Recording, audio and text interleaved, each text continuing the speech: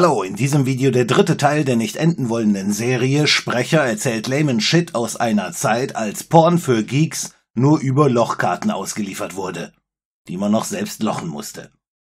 Wir waren stehen geblieben bei IBM, die inzwischen verstanden hatten, dass Microsoft nicht mehr am selben Strang ziehen würde und die Entwicklung am DOS-Nachfolger torpediert hat, was das Zeug hält. Unter anderem, weil einige der nicht machbaren Programmfunktionen am Ende in Windows 3 auftauchten. IBM wollte alleine weitermachen, merkte allerdings relativ schnell, dass man nicht die Erfahrung und auch nicht die Power dazu hat. Deswegen hatte man ja Microsoft überhaupt erst als Partner an Bord geholt. Windows gab es inzwischen in der Version 3 und konnte aufgrund der letzten sieben Jahre durchaus auf eine stolze Nutzerschaft zurückschauen ebenso auf die entsprechende Softwarebasis. Denn nicht nur Microsoft hatte inzwischen viele Programme für Windows entwickelt, auch andere Hersteller boten Software für Windows an. Man erkannte inzwischen die Vorteile, die Windows für die Entwickler brachte. Hardware-Treiber waren einfach dabei und die Entwicklung neuer Programme direkt unter Windows war viel einfacher, als das noch unter DOS der Fall war. Damit hatte man sich die dominante Stellung erarbeitet, die am Ende dafür sorgte, dass auch IBM nicht mehr an Microsoft vorbeikam. Das alles interessierte Apple derweil gar nicht. Die fühlten sich richtig verarscht und haben 1988 Microsoft bezüglich der Fenster in Windows 2 und Windows 3 auf 5,5 Milliarden Dollar verklagt. Und das war 1988. Überlappende Fenster, das war einer von vielen Knackpunkten, an denen Apple glaubte, Urheberrechte zu haben. Ferner glaubte Apple Microsoft noch im Griff zu haben, denn noch 1985, also drei Jahre zuvor, lizenzierte man dieselbe Fenstertechnik in einem Geheimabkommen an Microsoft, aber natürlich so kastriert, dass Windows den Apple-Computern nicht gefährlich werden konnte.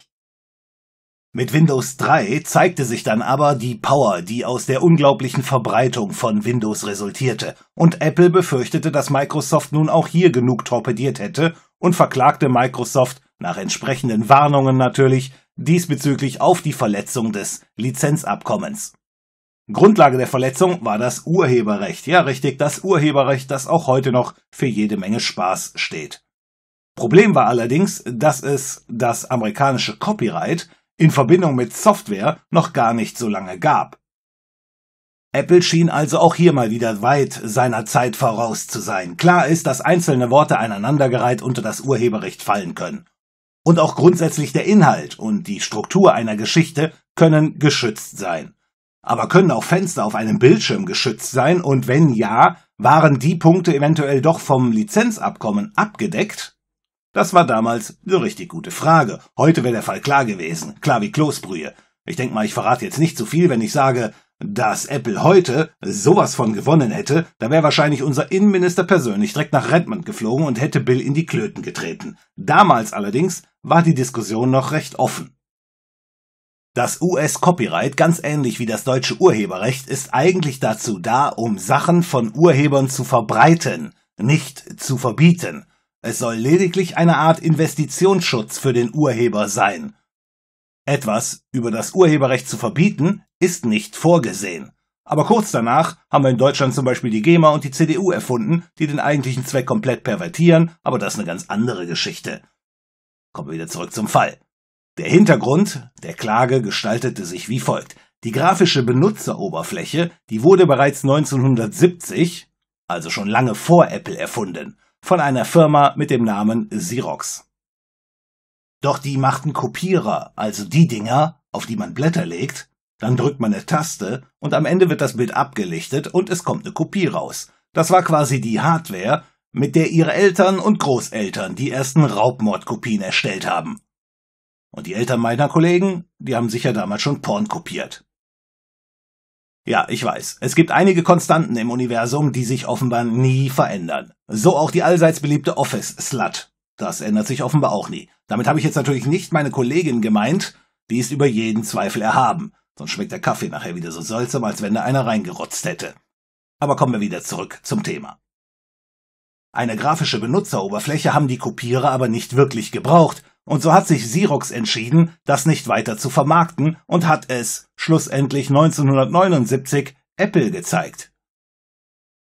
Die brauchten eine grafische Benutzeroberfläche für ihren Computer Lisa und den Macintosh. Die hatten stärkere Prozessoren als der Vorgänger und der hätte so etwas stemmen können. Genauso wie die Nachfolgechips von Intel, weswegen Microsoft 1983 Windows ankündigte. Es dauerte aber noch zwei Jahre, bis Windows am Ende fertig war. Und deswegen 1985 unterschrieben Apple und Microsoft ein geheimes Abkommen, welches die Benutzung von Fenstern in Windows 1 erlaubte. Im Gegenzug würde Microsoft auch weiter Software für Apple-Rechner erstellen. Machten sie natürlich vorher auch schon, wir wollen nicht vergessen, dass Microsoft der größte Softwarelieferant für Apple war. Insoweit war das natürlich nur bedingt freiwillig von Apple, aber auf der anderen Seite hat nach Apples Meinung der Vertrag nur beschränkte Fenster erlaubt. Man glaubte mit dem Vertrag Microsoft in Schach halten zu können.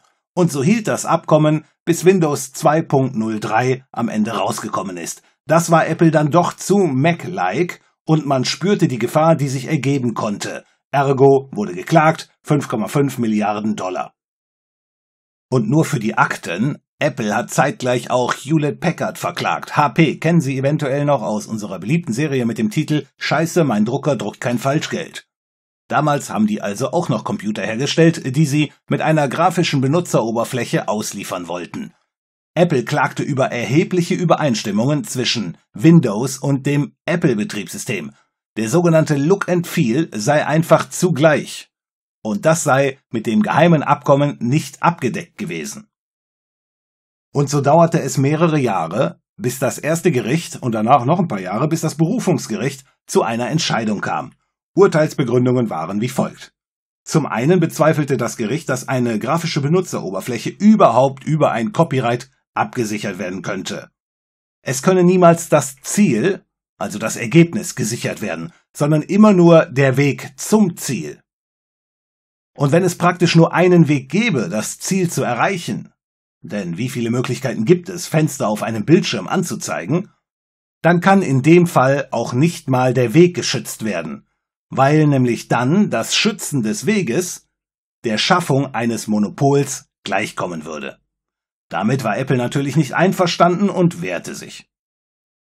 Das Berufungsgericht klärte dann darüber hinaus auch noch die Frage, ob Apple auch die Weiterentwicklungen der Fenster erlaubt habe. Apple argumentierte nämlich, dass die Verletzung durch Microsoft darin bestand, dass man ihnen zwar die Windows 1 Fenster vertraglich gestattet hatte, aber nicht die Weiterentwicklung der Fenster. Und Microsoft war natürlich der anderen Meinung und argumentierte wie folgt. Microsoft meinte, dass die Fenster in Windows 1.0 eine weiterentwickelte oder abgeleitete Version der grafischen Benutzeroberfläche vom Macintosh war. Es waren ja nicht genau die gleichen Fenster, ergo muss es ja eine abgewandelte Version oder eine weiterentwickelte Version sein. Und für diese weiterentwickelten Fenster, dafür habe man das Abkommen mit Apple, denn da steht wörtlich drin abgeleitete Arbeiten. Und, cleverer Vertrag, richtig, es stand drin. Und insoweit sind die Fenster von Windows 2.0 abgeleitete Fenster von Windows 1.0, die abgeleitete Fenster vom Apple Macintosh waren. Und insoweit war das alles erlaubt. Also eine Klatsche für Apple, ein großer Sieg für Microsoft, aufgrund eines clever ausgehandelten Vertrages. Microsoft hatte nun die Mittel und auch noch die Rechte, früher oder später eine gute Benutzeroberfläche zu erstellen. Und mit dem Vertrag mit IBM sorgte Microsoft und DOS für die Verbreitung von Windows. Die große Verbreitung sorgte dann natürlich dafür, dass Entwickler lieber für Windows als für Mac Software erstellten. Es war also zum zweiten Mal ganz knapp für Microsoft, aber wieder hatten sie gewonnen. Aber das noch lange nicht das Ende der Fahnenstange, aber dazu mehr im nächsten Video. Okay.